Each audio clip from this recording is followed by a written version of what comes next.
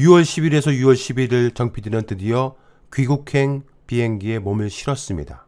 꼼짝없이 비행기에 갇혀있는 동안에 더 탐사는 언론 플레이를 통해서 마녀 사냥을 전개했습니다. 시민포털 사업 추진 관련 열린공감TV 긴급 이사회 결의문입니다. 열린공감TV 이사회는 미국 내 시민포털 사업 추진과 관련해 입장을 밝힙니다. 열린공감TV 이사회는 정천수 대표가 제안하고 추진 중인 시민포털의 당위성은 존중하지만 시민포털 사업 전반에 대한 검토 과정은 현저히 부족하다고 판단했습니다.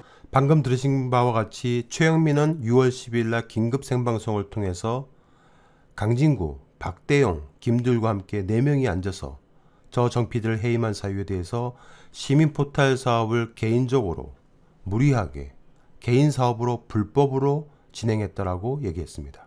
당시에 많은 시민들, 저 50만 명이 넘는 사람들은 정 PD가 해임된 사유가 시민 포털을 개인 사업으로 무리하게 추진했고 그렇게 해서 모은 기금을 자신이 횡령을 하려고 했다라고 오해를 하게 만든 겁니다. 그런데 강진구는 제가 비행기 안에 갇혀 있는 사이에 다음과 같은 SNS를 제게 보내왔습니다. 보시는 바와 같이 돈 받고 깔끔히 정리할 생각 있으면 연락 주시죠.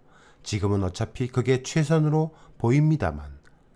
강진구는 저 정피에 대해 돈으로 매수를 시도했던 것입니다.